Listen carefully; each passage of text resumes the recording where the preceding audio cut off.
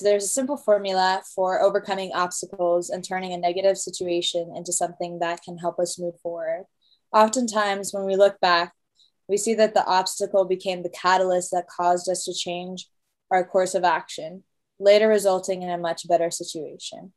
Um, I really just see two things in there. First of all, the obstacle is the way. How many times have we heard that before, right? That everything we want in life is on the other side of fear. So the things we fear the most are also the things that are going to give us the most growth in the things we want in life. But then I went into Raft, which, if you read Redefining Possible over summer, they went over as well. So we had some pretty cool tools. So this is, we've been introduced to this idea already, but I thought it was really cool that the first one is the first part of Raft is realize an event is happening or has happened because you can't really start to fix a problem that you don't know exists, right? If you don't know it's a problem, you can't fix it, which I think is why it's so important to have community because it gives you different perspectives that you didn't even know about. So you can fix different parts of your, well, not necessarily fix, but you can grow in different parts of yourself that you yourself didn't see beforehand. Next thing is to accept the reality of the situation instead of ignoring, avoiding, or denying. I think the best example I have of this is like an Alcoholics Anonymous or Alcoholics Narcotic, Narcotics Anonymous. The first step for any of them is they have to accept the fact that they're an alcoholic or that they're dependent on something and that they need help. Like that is the first step for their trip to recovery. And it's the first step for you changing anything.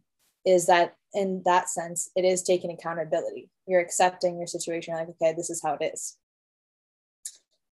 And then you get to focus on the controllables. You get to focus on what you can control, which is your effort and your attitude. And then you get to transform negative emotions into positive momentum. What are some examples in which Raft could have been used in the past year to help you problem solve, or that you used it in the past year to problem solve? I would say the one of the times I've used Raft was here at work. When I first started this job, um, it was just a different management style than I was used to. I was used to basically like uh, you know a soft. Um, if you do this wrong, like just do better next time. Not like if you mess up something, get you screamed at kind of thing. Um, so like realizing that, and then um, the feelings and emotions I had was like, I really don't want to work here, and I think this is horrible. I think I want to quit.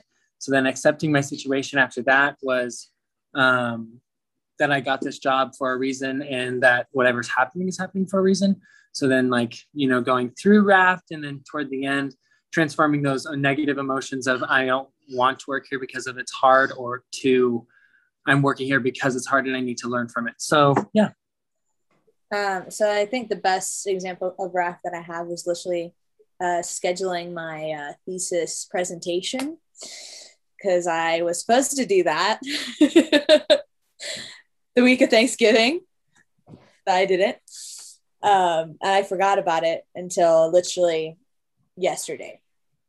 And I realized that I hadn't scheduled that yet. And I was like, if I don't present this, I can't graduate. I have to pay like $4,000 to wait until next semester to talk about something that I've already finished doing. So I was freaking out. I was like, okay, cool. So I'm gonna email my uh, coordinator and my professor that I haven't talked to since April.